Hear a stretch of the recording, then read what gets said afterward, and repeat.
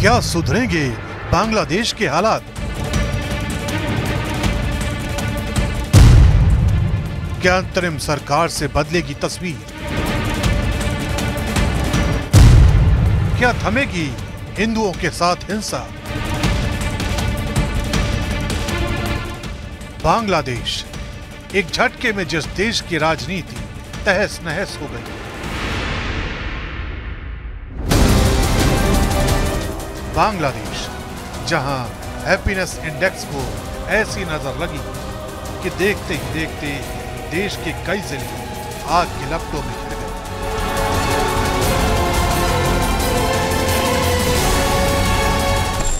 अब उसी बांग्लादेश में अंतरिम सरकार के गठन की तैयारियाँ चल रही लेकिन शेख हसीना सरकार के तख्ता पलट के बाद क्या? अब बांग्लादेश में कुछ बदलने वाला है? क्या अंतरिम सरकार के गठन से सब कुछ ठीक होने वाला है। ये सवाल इसलिए, क्योंकि शेख हसीना के बेटे सजीव वाजेद ने दावा किया है कि बांग्लादेश में कानून व्यवस्था पूरी तरह से ध्वस्त हो चुकी है।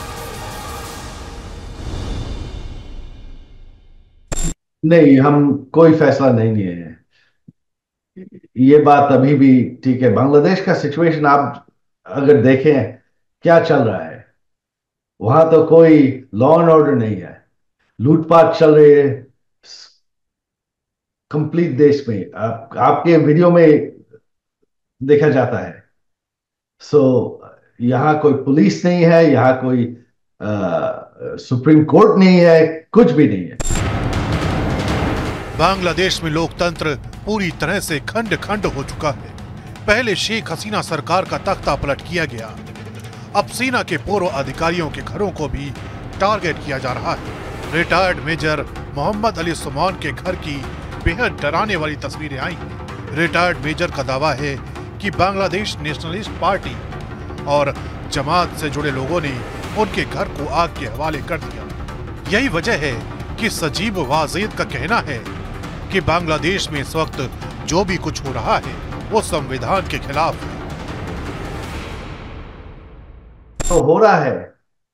It is all extra constitutional संविधान में ये कुछ भी नहीं है। संविधान में इंटरिम गवर्नमेंट बोला कुछ भी नहीं है। संविधान में प्राइम मिनिस्टर अगर रिजाइन करे, तब पार्लियामेंट कंटिन्यू करा, करना चाहिए। एवं न्यू इलेक्शन होना है। बांग्लादेश में हालात पहले ही बेकाबू है और अब यहाँ चीफ जस्टिस के इस्तीफे की भी मांग उठने लगी है। कहा जा रहा है कि अगर उनकी ये मांगे पूरी नहीं हुई तो एक और आंदोलन की शुरुआत हो सकती है। हम तत्काल प्रभाव से चीफ जस्टिस और एडी जस्टिस के इस्तीफे की मांग करते हैं, क्योंकि वो इस फांसीवादी व्यवस्था का हिस्सा है। यानी भीतर ही भीतर बांग्लादेश में एक और आंदोलन की आग धधक रही है।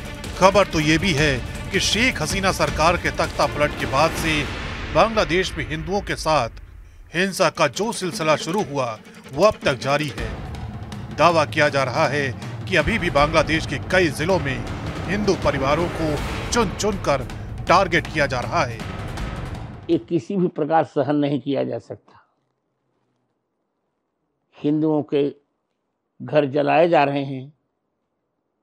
हमारी भोली भाली बेटियों की इज़्ज़त से खिलवाड़ किया जा रहा है।